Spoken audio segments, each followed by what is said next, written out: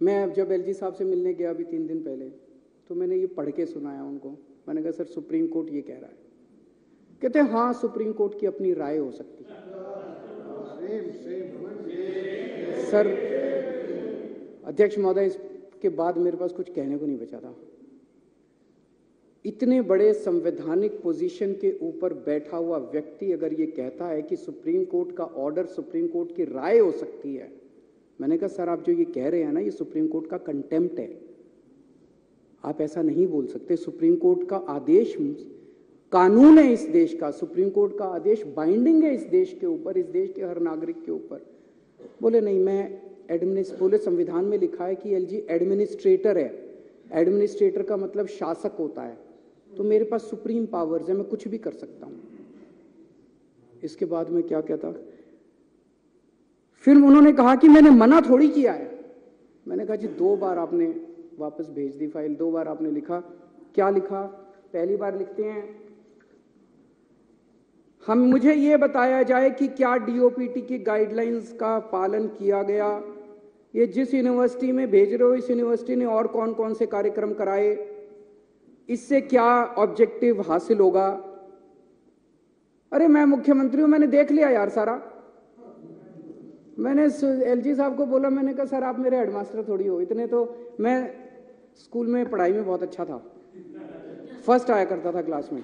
Through out पहली class से लेकर बारहवीं क्लास तक फ़र्स्ट आया। यूनिवर्सिटी टॉपर था, कुरुक्षेत्र यूनिवर्सिटी में टॉप किया था मैंने। पहले सिक्स पोजिशन थी मेरी। मेरे मास्टरों ने आज तक मेरा होमवर्क ऐसे चेक नहीं किया। जैसे एल जी साहब आज मेरी फाइलें लेके बैठ जाते हैं। स्पेलिंग गलत है हैंड राइटिंग खराब है। ये ऐसे क्यों नहीं लिखा, ये वैसे क्यों नहीं लिखा? मेरे मास्टरों ने ऐसे नहीं किया जैसे एल जी साहब मेरा होमवर्क चेक करते हैं। मैं चुना हुआ मुख्यमंत्री हूँ। दिल्ली के दो करोड़ लोगों ने मेरे को चुन के भेजा है। आप कौन है? मैंने उनसे पूछा, आप कौन है? ये मैंने पूछा एल जी साहब से। मैंने कहा, सर, आप कौन है? मेरे को तो जनता ने चुन के भेजा। कहते, मेरे को प्रेसिडेंट ने भेजा।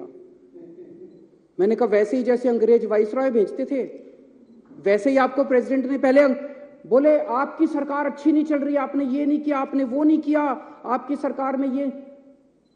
मैंने सर, वो वाइस रॉय जो होते थे ना, वो कहते थे you bloody Indians you don't know how to govern मैंने कहा एलजी साहब, आज आप भी वही भाषा इस्तेमाल कर रहे हो you bloody Delhi वालाज you don't know how to govern मैंने कहा, सर, दिल्ली छोड़ दो, हमारे हालात पे हम अपनी दिल्ली चला लेंगे।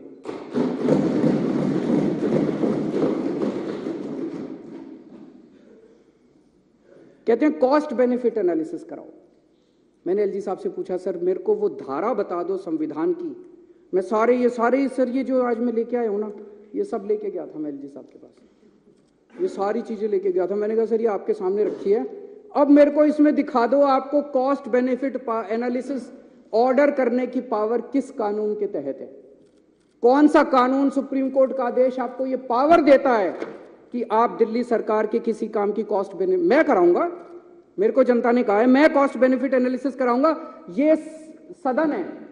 ये सदन कराएगा, इसकी कमेटियाँ कराएगी। ये कमेटियाँ कराती है, ये सौरभ मेरे को बताता है, राजेश बताता है सोमनाथ ये सारे बताते हैं। ये कॉस्ट बेनिफिट एनालिसिस ये लोग कराएँगे। आप कौन होते हो कॉस्ट बेनिफिट एनालिसिस कराने वाले? दिल्ली के अंदर चुनाव हार गए और उसके बाद अब कॉस्ट बेनिफिट आपके पास तो पावर नहीं है, मैंने उनसे पूछा। उनके पास कोई जवाब नहीं था।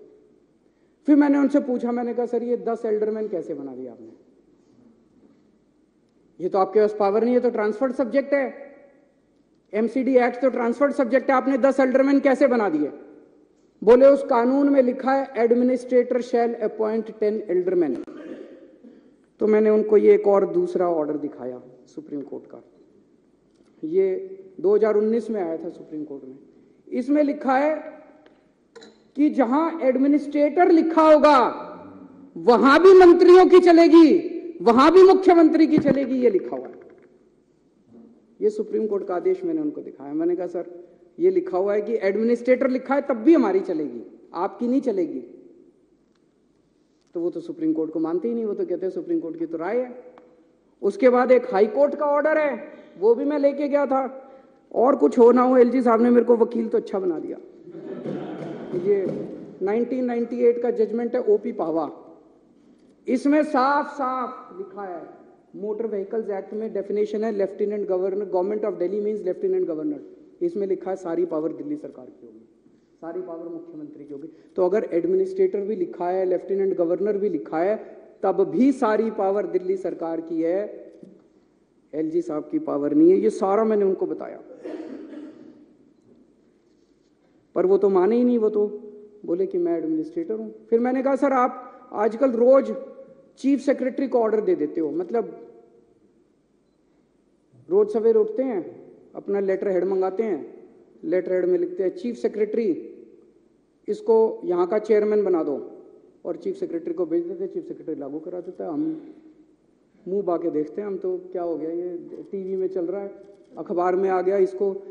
लिख देते हैं, ये इसको एल्डरमैन बना दो, इसको यहाँ का ये बना दो, इसको। ये चल क्या रहा है? मैंने एलजी साहब से पूछा, मैंने कि चीफ सेक्रेटरी को सीधे ऑर्डर कैसे देते हो? मुख्यमंत्री, मंत्री इनके थ्रू फाइलें क्यों नहीं जाती? सीधे चीफ सेक्रेटरी को ऑर्डर दे देते हो आप, किसी भी सब्जेक्ट के ऊपर. बोले, मैं शासक हूँ, मैं एडमिनिस्ट्रेटर हूँ। मैं कोई भी ऑर्डर दे सकता हूँ, किसी को भी ऑर्डर दे सकता हूँ। ना तो वो संविधान मानने को तैयार हैं और ना वो सुप्रीम कोर्ट के ऑर्डर मानने को तैयार है।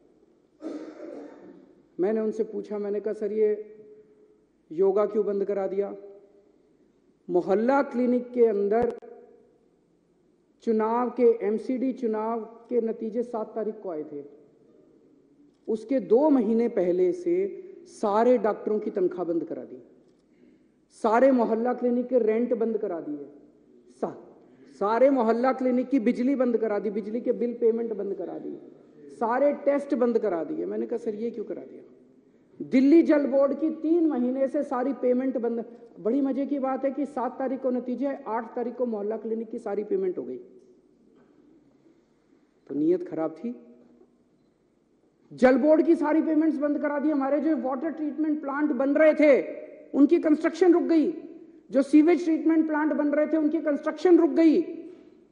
डीटीसी के अंदर महिलाओं की सुरक्षा के लिए जो बस मार्शल हमने लगा रखे हैं, उनकी तनख्वाह तीन महीने से बंद करा दी